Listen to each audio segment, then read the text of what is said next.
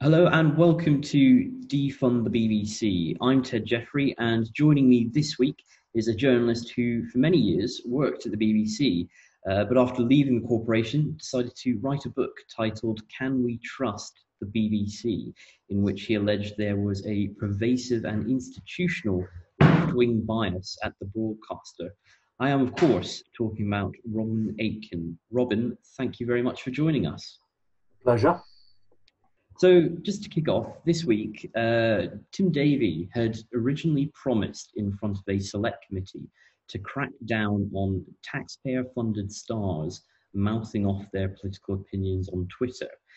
However, it appears as though Mr. Davie has only disciplined two BBC staffers. Meanwhile, stars like Gary Lineker continue to remain overtly political on issues ranging from migration to climate change and even calling the Prime Minister a liar. Robin, first of all, what do you make of this? Um, well, I think Tim Davie's got a long way to go before he delivers on that promise. Um, I can see the difficulty with someone like uh, Lineker because Lineker, of course, is not BBC staff. He's a BBC star, but he's a but he's not staff. Um, so I'm not sure of the, the legal position on that, but I would think that um, the it's easier for the BBC to say to someone who's a staff member, a staff journalist, you can't do that. And as far as I know, there has been a bit of a crackdown on, on staff people. With someone like Lineker, something is always worth remembering actually about stars is that very often these people, it's not just in the BBC, but it's elsewhere also. You know, they become bigger than the, in a sense, you know, they become bigger than the organization they work for. Um, and it's difficult for um, the, the, the organization to discipline the star. But I think that the um, that I would say Lineker was on thin ice because um, I think that Tim Davie has made these commitments publicly and he can be held to them. And if this continues, then you know his credentials will be called into doubt. And you know there are plenty of MPs, plenty of politicians who are interested in this subject. The BBC is desperate to get some sort of um, settlement with the government, uh, to get back on the right track with the government. So what I'm saying is, I think it's disappointing that Lineker uses his platform in the way that he does. I'm not sure just uh, what levers the BBC has to discipline him. That's the problem. Well, the BBC uh, clearly has a lot of guilt for uh, classic comedy shows, as we've seen. And you know, a lot of classic comedy shows they broadcast things like Fawlty Towers, Allo Allo. Uh, they're constantly slapping content warnings on them. now, Robin, would you agree that the corporation is now sort of totally out of touch and is also at the mercy of woke millennials that are offended by everything? It, it's completely pathetic, isn't it? I mean, it really is. It's it's it's it's risible, and it's it's uh, the you know once you you know, once you start going down this line, it's like a sort of Stalinist. Uh, it, it's like trying to erase from history, you know, people who have sinned in the past, and it's applying. Um, it's applying these new woke standards to a different era, and I think it just, I think it just makes the BBC look ridiculous. And um, you know the you have to wonder just what lies at the bottom of this. So if you're a BBC manager and you're saying to yourself that something which appeared first of all 30 years ago in one of these comedy shows, you know, Fawlty Towers or something. Um, so it was okay then. Uh, times have moved on. Uh, we now cannot broadcast this because of the risk of offending somebody. But if you make this question of offense the hurdle which must be crossed, you know, what happens to your comedy content? You know, who are you allowed? After all, comedy, you know, by its nature, um, someone has to be a butt of the joke, don't they? You know, without the butt, no joke. so if you if no one can be the butt, you know, no jokes. And it's a sort of, I mean, I think it's just absurd. And I, I, think, I think, you know, it's the kind of thing that enrages people, and it just enrages people. If I was a BBC manager, I would, you know, I don't know where are these complaints coming from. Who is it that's complaining about these things? I mean, who knows? You know, why?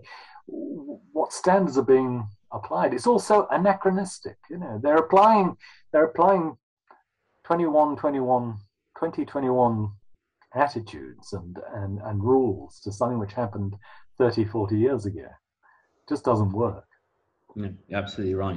And it will be interesting to get your sort of next uh, your take on this next topic because you spent time uh, at the BBC working there, and uh, BBC News seemed to be presenting as as fact that 48% of trans youth attempt suicide, and this was this statistic, I should say, was based on a sample of just 27 people. Mm. Now, surely the BBC should know better than to peddle this dangerous trans suicide myth, pushing anti science ideology. I think the BBC has a lot of questions to answer over the, the trans issue. You know, my um, my sense about the trans issue is that an awful lot of people who now are considering themselves trans have psychological issues. So I think that a lot of these people are very unhappy. The BBC is at fault, I believe, for having um, put so much emphasis on this trans issue. Let me give you an example. I have um, someone in my family circle who is a teenage boy and he goes to school in North London. And I jokingly asked him um, some months ago, I said, uh, you know, if you, if you come out, he's only about 14 or so. So I was making a bit of a joke of it and I said, you know, any of this trans stuff going on in your school? He said there were five, five children in his class of 30 who were considering themselves to be transgender. Now, how do you explain a rash of circumstance like that? It has to be because there is a fashion now amongst children for considering themselves trans. Who is to blame for this? I think that the people to blame for this are those people who have been campaigning and promoting this trans agenda, and the BBC is at fault, in my view, for giving them so much airtime. They have, I mean, they are obsessed with this trans issue. And, you know, children of that age are very suggestible. You know, I mean, it's a long time since I was a teenager, obviously. Um, I can just about remember it. And I can remember what a troubling time it was you know, for all sorts of reasons. It's just that's just life, you know. I mean, you know, it's a troubled time because you don't know much about sex, you don't know much about life. I didn't know anything about girls, etc., etc., etc. Most of us are in that position at some point or other in our pubertal period. To introduce this idea that somehow your sex is an optional thing, that you can be male or female, turns reality on its head. And it's a wicked, wicked thing to do to children. I think it amounts to child abuse. And my complaint against the BBC is that they have they have been far too gullible and far too ready to promote these dangerous, wicked, and sinister arguments about gender. And um, I hold the BBC responsible for that in part because hook, line, and sinker, they've they've just swallowed the propaganda of the trans activists. Shame on them. Now, uh, you know, sort of bringing it back to BBC journalists in particular, do you, do you find as well that there, there tends to be a particular sort of lazy streak amongst some BBC journalists, essentially trying to make a story out of anything? Uh, one instance of this happening is when BBC News decided to post a national story about getting more black women into cycling. You know, don't you think it's quite worrying that our public service broadcaster has to resort to race baiting in order to create a story? Um, well, I do take the point about race baiting. You know, you know, um, the, the BBC's coverage, in my view, is now racialist. It's obsessed with race, and of course, that plays exactly into the hands of those people who want to use race in a political way. Um, you know, the Black Lives Matter movement um, presents itself as a cuddly human rights issue. Now, we can all agree, can't we, that there is no place for um, racism, there is no uh, justification for discrimination against people of color or any other attribute for that matter, that we all deserve in a democracy to be treated fairly and equally. But there are plenty of people on the left, particularly the revolutionary left, who want to use um, the idea of racial inequality to disturb the politics of the country, to um, to create amongst minority groups the sense that they are victims. And Black Lives Matter, far from being a cuddly, uh, non aligned movement, was started by Marxists and is actually a revolutionary organization. That is my complaint against uh, the BBC in this matter. I mean, they're always ready to look for this racial ang- angle. And that plays exactly into the hands of those who wish to pretend that this country is a seething bed of injustice, which it is not. You know, so many surveys have shown that British people, uh, you know, we can, you know, we're not perfect. We could do better. But when you compare us to almost every other country, we do better in this regard. We are more welcoming, more tolerant, and you know that is true certainly of most of our European neighbours. We do far better than most of them in terms of this, and yet the BBC seems hell bent on promoting the idea that you know, this place is a, is a hellhole of racial racial injustice. It's absurd. Now, now you, you recently wrote a piece in the Telegraph uh, where you highlighted how, according to the BBC's annual report and accounts, more than 185 BBC executives earn 150,000 pounds a year or more. Now that's 185 employees at the BBC who earn just as much or more than the Prime Minister. Is it any surprise that pensioners are refusing to fork out for these out of touch elites? It's no surprise at all. Um, I mean, look, some of the jobs of the top executives at the BBC are undoubtedly very exacting and demanding. Um, the man I worked for when he, he was editor of the Today program, Rod Liddle, a man I have a great deal of time for. And he worked bloody hard, really hard mean, that's one of those jobs that's kind of 24 7, you know, it's a terrible job. But he was never paid that kind of money. He was paid on an editor's rank, which, I mean, he was pulling in a decent screw, I dare say, but nothing like that sort of figure you're talking about. Those sorts of figures are reserved for these people who are in this endless hierarchy of executives. You know, um, the rot set in, you know, with this, um, and it reached uh, a peak of absurdity. And actually, in my view, it was a scandalous thing. But under the uh, leadership of um, Mark Thompson back in the 2000s, in the noughties, I think he left in 2008, 2009, this time he left. Now, Thompson uh, ended up paying himself £800,000 a year as Director General. And that to me was larcenous.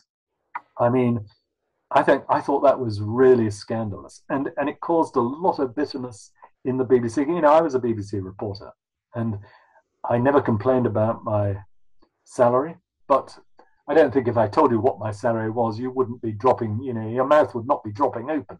It was, you know, it was a decent salary, but it was, you know, I'm not a rich man as a result of it. Nor did I expect to be. Nor did most of my colleagues expect to get rich. What we expected was a decent rate for the job. But the BBC has now a layer of fat in its executive levels, which is actually a disgrace. And of course, that plays into the reluctance of people to pay their license fee. You know, when you think how many license fees it takes to pay, for instance, the lady who goes by under the title of the divert- diversity czar, you know, She's paid 17, the equivalent of 1,700 pounds a day. I mean, that is ridiculous. That is just ridiculous. Yeah, exactly.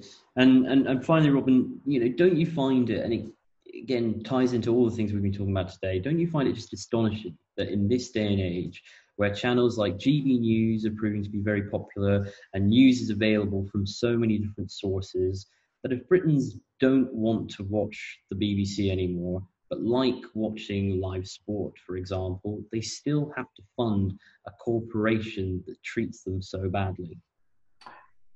Well, I think that the the the argument that you're raising is about you know the the, the license fee and whether I mean you're quite right, of course, that um, the license fee it looks to me as if it's running out of road, and it's running out of road for a number of different reasons. There are people who feel the BBC doesn't represent them and they don't like what it produces, so they don't see why they should have to pay. That's one group. But there's another group, and a growing group, of younger people who get their news and information and entertainment from all sorts of sources on the internet. Um, and for those people, the idea that you have to pay a state broadcaster this annual levy seems just antiquated, a, a sort of throwback to an era they don't recognize. So that's the problem the BBC has, and I, I, I do wonder. You know, the we've got the um, we've got the review of the midterm review of the charters of the BBC run 10 years at a time. Um, the last one was signed into law in 2017. So next year is the midway point.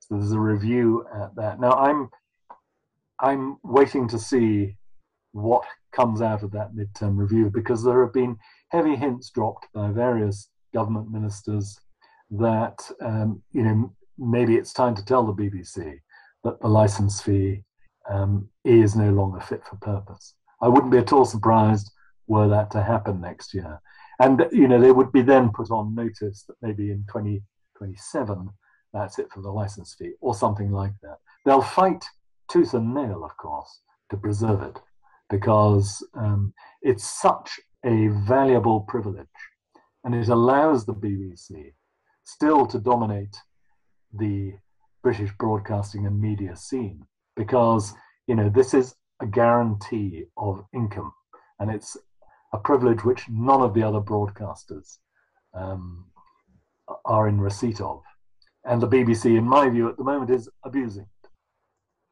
well, Robin, thank you so much for joining us today at Defund the BBC. It's been an absolute pleasure.